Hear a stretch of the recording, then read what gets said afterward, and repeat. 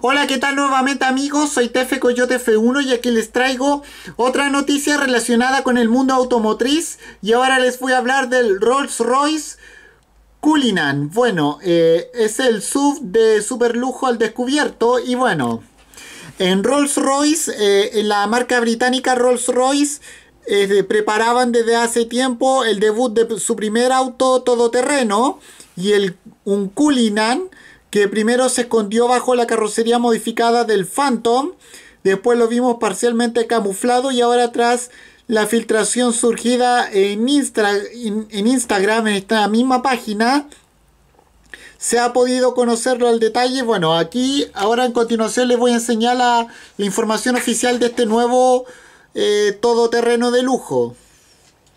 Bueno, las marcas super lujo también apuestan por el segmento SUV o SUV, como quieran decirle. Y tras la llegada de los Lamborghini Urus, el Bentley Bentayga o el Maserati Levante, sabíamos que el próximo as en caer sobre la mesa iba a ser este Rolls Royce Cullinan que los fotógrafos cazaron hace tiempo como un ligero camuflaje que tras la filtración llevada a cabo ayer en, en Instagram eh, por fin de forma oficial vio la luz y bueno el aspecto definitivo del SUV de la marca británica Rolls Royce eh, no es precisamente una sorpresa ya que está inspirado en el Phantom de última generación pero si bien cuenta con una estatura superior y para golpes bien robustos, para choques bien robustos al típico estilo crossover, las dimensiones oficiales del Rolls Cullinan nos eh, se revelan un vehículo imponente de 5,34 metros de largo por 2,16 de ancho que presenta una altura total de 1,84 eh, metros eh, para que se hagan una idea a través de las imágenes que están en estos momentos apareciendo las eh, ruedas que incorporan son de 22 pulgadas y por cierto están realizadas en aluminio como buena parte de su bastidor que es completamente nuevo.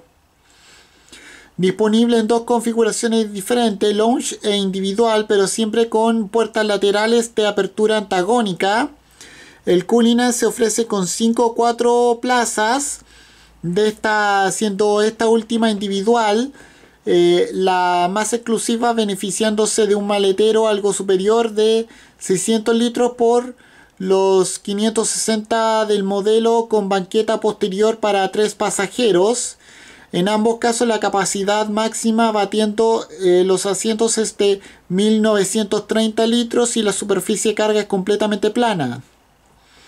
El interior ofrece un nivel de, acabado artesanal, así como una serie de extras fascinantes como el denominado Cullinan Viewing eh, Suite, eh, dos sillitas de cuero que se despliegan automáticamente desde el suelo del maletero, junto con una mesita central para disfrutar de un brunch de lo más exclusivo desde algún recóndito lugar.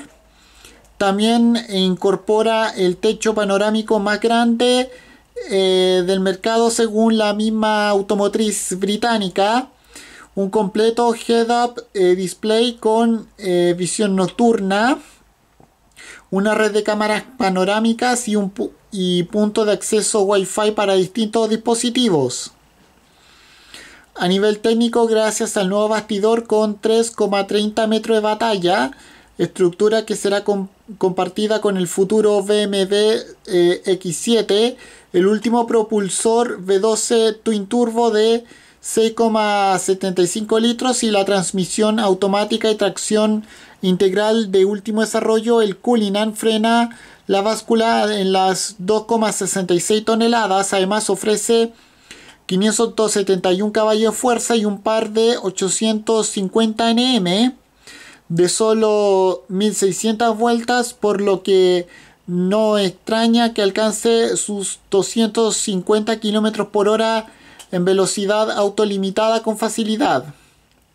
Bueno, eh, entre las novedades que incorpora este Rolls Royce destacan algunas alguna como su suspensión neumática Magic Carpet Ride, controlada electrónicamente y es capaz de modificar su funcionamiento en forma preventiva. Advirtiendo detalles como el estado del firme. De la misma forma, el conductor puede seleccionar diferentes modelos de comportamiento para rodar tanto en arena, en grava, hierba mojada, barro, nieve, llegando a aumentar eh, su altura para vadear ríos con hasta 54 centímetros de profundidad. Y Rolls-Royce aún no confirma eh, datos eh, comerciales ni fecha de lanzamiento para un sub que debuta eh, este año en el Salón del Automóvil de París.